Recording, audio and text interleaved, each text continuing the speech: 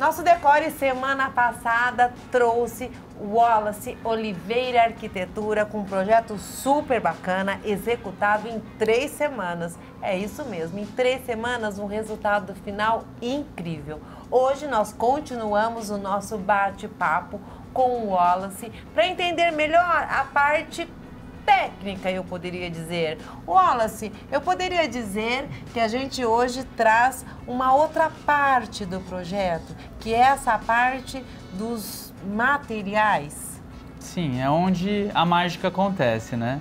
Wallace, eu imagino que você deve ter contado com materiais aí de tecnologia, materiais rápidos, até porque em três semanas isso aí faz uma diferença, né? Com certeza, Lelinha.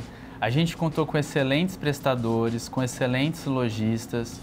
Todos os materiais chegaram muito rápidos. A gente, na elaboração do nosso cronograma de obras, a, a, gente já fechou todos os produtos e todos eles foram antecipados. Então a gente conseguiu antecipar a iluminação, a gente conseguiu antecipar a marcenaria. É, todo mundo ficou envolvido com essa obra para que ela saísse dentro do prazo. Olha que legal. Agora fala pra gente de iluminação porque a gente nota que a iluminação ela está presente em cada cantinho dessa loja. Sim. Na verdade, a iluminação foi o coração do projeto, né?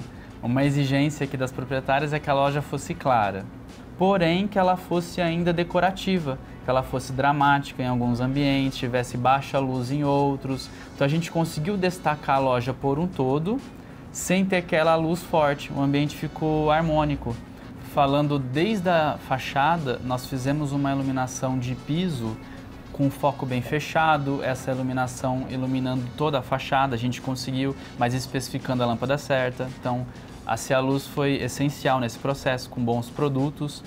É, e ao mesmo tempo, nessa fachada, nós queríamos uma iluminação mais dramática à noite. Então a gente não fez aquela iluminação com muito exposta. Então, a gente fez uma iluminação mais baixa que traz esse charme para a fachada, né?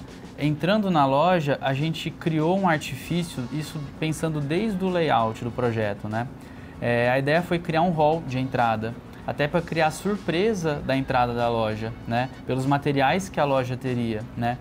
Então a gente criou um, uma ambientação de um painel iluminado com uma lona tensionada que ele faz todo um charme. Além dele fazer uma iluminação da fachada, que à noite fica incrível, ele faz um backlight para os camarins. Gente, ficou lindo. Vamos falar um pouquinho desse jardim, é, como é que chama? Jardim preservado. Gente, eu, você conhecia o que é jardim preservado? Conta, o que é jardim preservado? Lá nessa loja tem vários materiais novos, né, e pouco utilizados.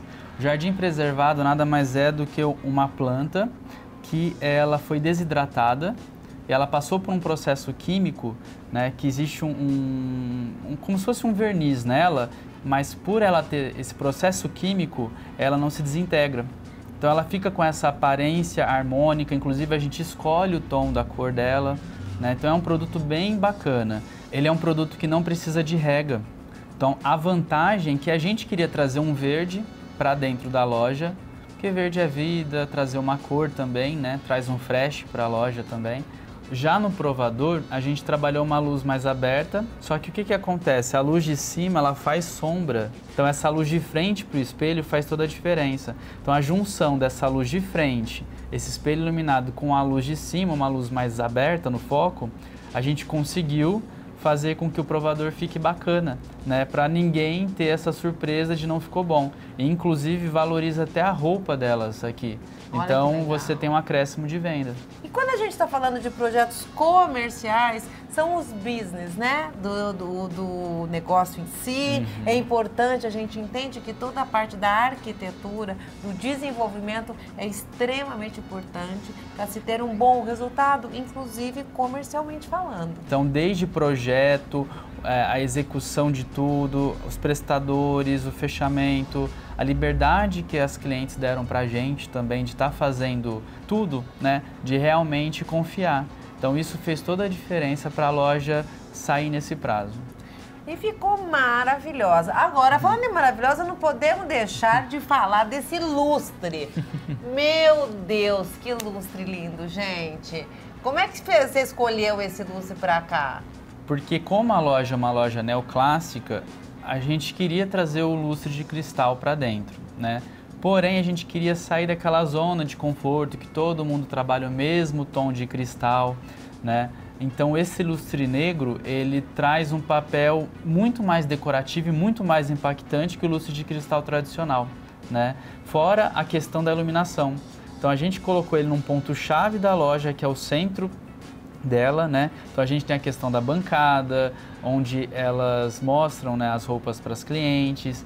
Então ele tem essa ideia do verde no pano de fundo e o preto na frente. Então ele faz a função tanto de iluminar, né? E também a parte decorativa.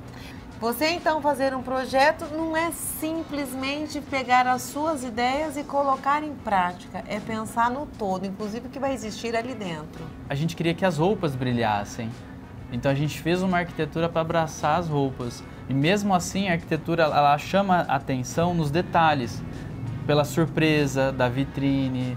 Porém nada disso interfere nas roupas. É isso mesmo. Você está de parabéns. Você, Obrigado, a sua equipe, seu escritório, que fez um trabalho maravilhoso.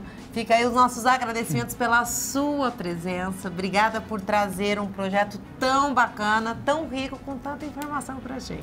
Obrigado, Vilelinha. A gente que agradece a entrevista e a oportunidade de estar divulgando o trabalho. Ah, que legal. Parabéns, mais que merecido. E fica aí os nossos agradecimentos à Cia Luz também que nos proporciona a condição de levar um projeto tão bacana, um projeto de iluminação que é único, que conta com elegância, conta com a praticidade do que é necessário para uma obra comercial. Os nossos parabéns pelo trabalho em excelência que a Cia Luz sempre executa e traz para o nosso decore.